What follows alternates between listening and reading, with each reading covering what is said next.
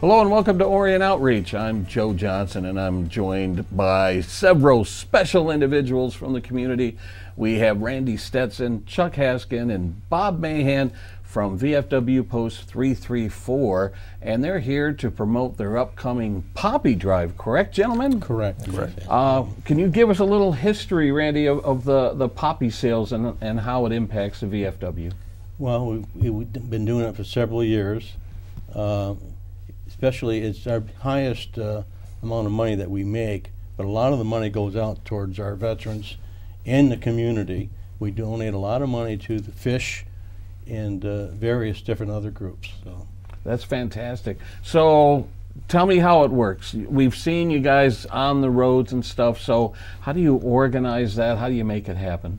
Well, we have a schedule. I usually do all the scheduling, and uh, of course we go through all the checks with uh, uh, Orion Township and stuff like that to give us permission. We have permission for every place that we go and every road that we're on. We have a, a permit for that. Hmm. I know the people get tired of it, but it, it's such a great thing. It helps a lot, a lot of people. So. Yeah, I would imagine a challenge you face today, and Chuck, I think you and I had talked about this a while back. Not a lot of people carry cash on them anymore. Does that pose challenges when you're out there uh, Yes, having your it, drive? it does, but a lot of people, if they don't have the cash, they'll come back. Oh, wow. Oh, they'll go inside and try to get some cash somewhere. So Yeah. that's, that's happened several times. So And I assume there are other ways to donate. If you don't have the cash on you when you're out and about, how else can somebody donate? They can, if they get their checkbook with them, we'll take checks. Oh, wow. To us, it's the same thing as cash. But uh, we also have each one of our members our post office box. So they can send money to that box, and uh, we'll take it there. You know, send a check in, and we do get quite a few people that physically they, especially with COVID, in the last couple of years, people couldn't go out. So that uh, once we started our program, they would turn around and send checks into the post office box, and uh, which we really appreciated. That's fantastic. Do either of you, any of you know how the poppy became the symbol of the VFW's drive? it's yeah, it was what's his name, uh, Colonel McCree or something? John Yeah, McCrae. Or- John McCrae. Yeah. John McCrae, uh, World War One, but uh, basically, and uh, I don't know the whole thing. I should, but I don't. yeah, he, he, was, he was a Canadian uh, poet, and one of his good friends uh, passed away in, in World War One, and he was out there for the sermon, and it was in, in Belgium, and the, the cemetery they had for our troops at that time was basically a poppy field. Mm-hmm. So he was there for a very sad occasion for his friend, but he also he came up with the poem for the Buddy Poppies that represents not only his friend but for all the ones that were lost in World War One, and uh, the representative was that Buddy Poppy, and the uh, VFW turned around and uh, signed up with the a group that was trying to get recognition of this around the world because the Buddy Poppy program is not just a U.S. program. It's in Canada, it's in England, it's in France, it's in Australia. And they're a little bit different, but just basically it's the same thing. Canada, like we have our little red flower that we hand out. They have a red and they have a white one, but they're made from ceramics versus ours is this little piece of cotton and a little bit different. And uh, so that program kicked up. This is World War One, and all the years since then, we've been doing buddy poppies, and it's always around Mother's Day, and we go out to, uh, like this year for uh, second and third weekend in May, and uh, we'll be out there Friday, Saturday, and Sunday, be it warm, be it cold, be it raining, be it snowing. We will be there. You might get all of that in one day, the way things. Yeah, the way the weather is, we have no idea. but in history past, that is done. But we couldn't do none of this if it wasn't for the support of the stores, um, like Kroger's, Ace, Bass Pro, that have invited us to be on their property for those oh. weekends. And as Randy said, we have permits from each one of them to be on their properties and do this. So, and we have a few streets, not too many streets, but we have them located in different areas. Nothing on a, a major road. It's on the side roads. It'd be for the protection of our guys. Yeah. Now the money that's collected here in Lake Orion is it does it stay here locally in Lake Orion? The our post we call it North Oakland. So uh, Oh, I see, yeah. So you cover we're- a we're- large Yeah, we're, area. we're physically uh, where we meet is in the Lake Point Community Church over on Drahner Road in Oxford. But uh, do we do things in uh, Lake Orion? A ton of things at Lake Oh, Orion, sure. especially like the high school. We do things with the Orion Veterans Memorial. Um, a few years ago, we made a uh, it was like ten thousand dollar donation to that new baseball field we put up for the Oh, the disabled. baseball field? Yeah, we- Miracle Field. Yeah. Yep. So the money that we come in goes into what we call the relief fund. And the only thing that can be spent out of that refund is charitable events for the community, for veterans, or to keep the history of a veteran going, like memorials and things like that. So, but that's all that money can be spent on. And as Randy mentioned here in the spring, we had the uh, fish, which we turned around and sponsored a shelf there. Um, we also just recently in Oxford Fire Department, they're starting a program to put smoke detectors into the seniors' homes and throughout the town. We're going to kick it off next. yeah, Also next the month. Jaws of Life too. Yeah. We've done that for them, so. So the uh, so we donated uh, five thousand dollars to them to help kick their program off, and then challenged the other organizations. And they've had uh, an insurance company in Oxford donate twelve hundred dollars. They had American Legion Oxford donate four thousand dollars. So their program is going to get going through the, what we helped start with our, our donation there. But the um, Sheriff's Department. yeah the sheriff's Vests for the dogs and the uh, through Lake Orion, they would work with the uh, Oakland County Sheriff's Department's dog division. Right. And after the one dog was killed over in the Macomb County, uh, the Oakland County Sheriff's Department was looking to buy some vests, just like the police officer wears. Why don't the dogs wear them? Yeah. So we bought two of those vests for their dogs and went through the uh, uh, village police department, and they turned around and did it to the county. So we we work with all the police and fire in the area. We try to recognize them as much as they recognize us. So Yeah. good time with that. All that money has got to be spent. We can't hang on to it. Sure. It's got to be donated to di- various uh, places, like uh, Young Marines, we sponsor them, Boy Scout groups, and uh, various other people who come in that are authorized to, you know, have where we can donate money to them. We'll we'll do that. So Yeah. And Memorial Day is not too far away. You guys are pretty active as Memorial Day rolls around, right? yes, we are. Yeah.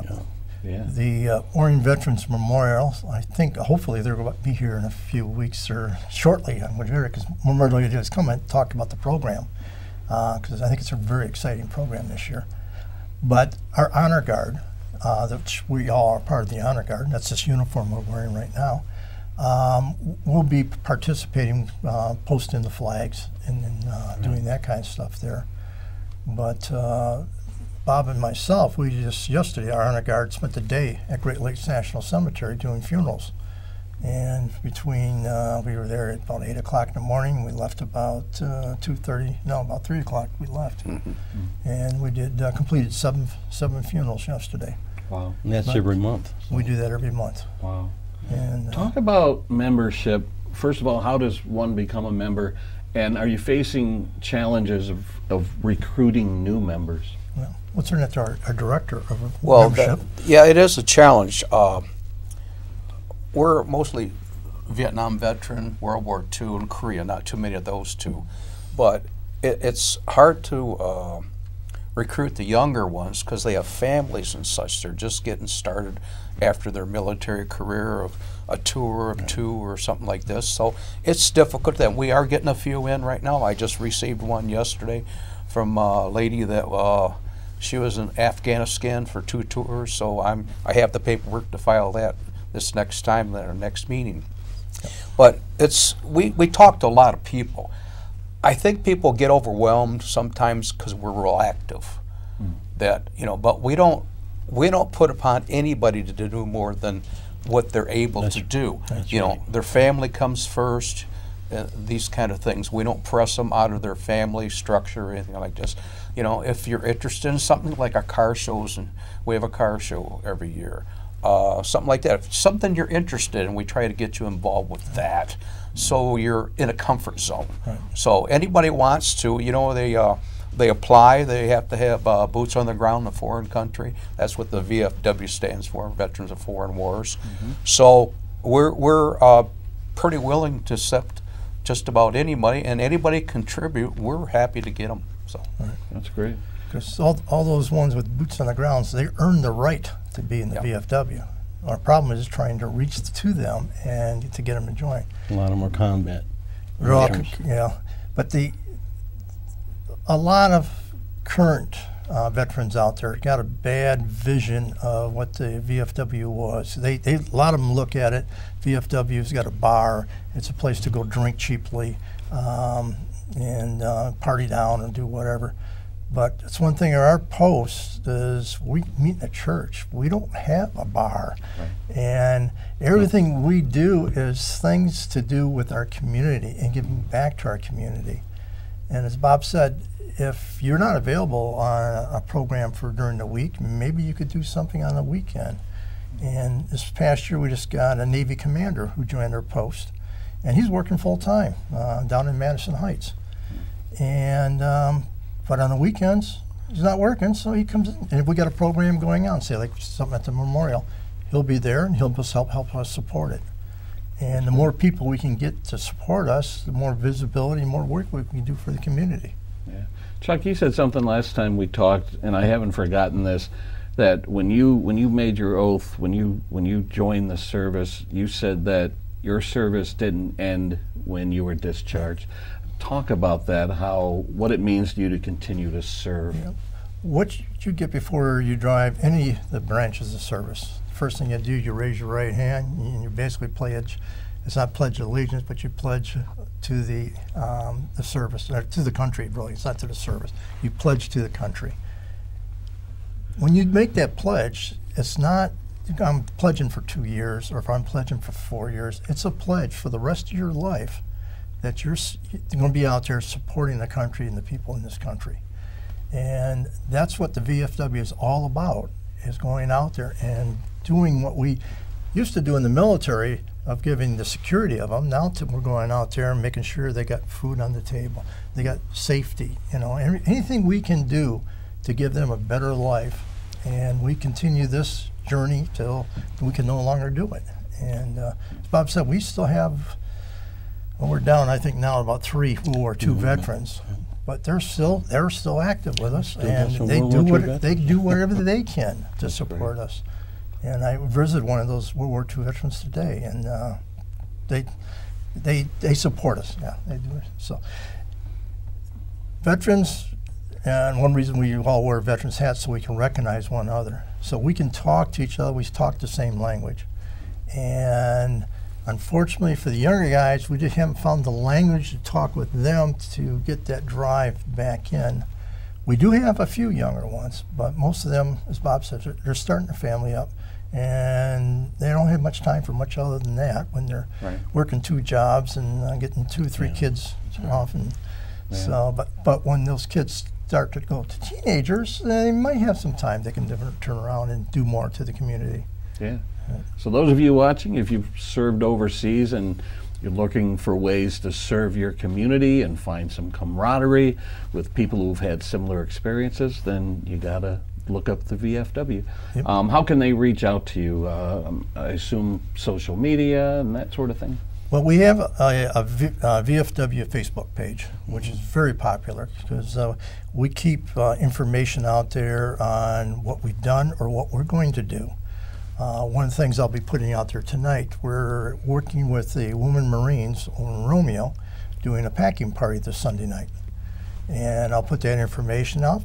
People who's available, they'll come up, we'll help out, and we do some packing for overseas uh, vets, uh, overseas active duty people. Uh, last two years, we haven't done a packing event because everybody was coming back to the United States. And plus, the way COVID was, you couldn't get the people together to do it. Yeah. So um, that was kind of went to the uh, wayside. And this one just popped up here oh, I think last week it, it came up that the Women Marines got a request from a unit that's over in Poland. And uh, they've been over there a while and they like to have some things from home. So uh, we're, we're putting some food together and they got some different types of clothes and that's all being packed up and be shipped out uh, Sunday night and by Monday, Tuesday, somewhere overseas they'll be landing. That's awesome. That's great. not only the males, but the lady veterans too. We take special care to try to take care of some of them. We're doing with the VA hospital in in uh, Detroit and Ann Arbor. We've we supplied things for the lady veterans a few thing, times uh, in this past two years that they don't normally receive a lot of things. So we I work with a couple of different drives to uh, get donations for just those purposes, and that's above and beyond the poppy sales. And a lot of this is we've uh, been ha- happy to work with Meijers over. They've given us uh, uh, a lot of money in the past, and, and that we have to help serve these needs, and we want to thank them for it. That's great. So Mother's Day weekend, look for VFW members out and about selling poppies. I think what I'm going to do is uh, hit the ATM and make sure there's some cash in my wallet so that when I encounter somebody out there, I'll have it in my holster ready to go. Right. So thanks, guys. You're doing, as always, great work in the community. Thanks for coming to the ONTV studio, and we're happy to help you get the word out that the poppy Appreciate shells are coming much. right up. we appreciate Thank you it. for inviting us. Again, All right. Hopefully if everybody comes out and you see uh, us out there, and we'll be all, all kinds of different uniforms out there, but we'll all have the same type of signs we'll have back here. There you Uh, go. Stop by and talk to us. And Sounds great. especially Yeah. anybody who's interested in joining the VFW, stop by and talk to us. Yeah. And, uh, Awesome. We'll give it carry a try. applications with us. Yeah, we, Oh, there you we go. also offer that, yeah. mhm. Fantastic. Thanks again, and thank you for watching Orion Outreach. I'm Joe Johnson. We'll see you next time.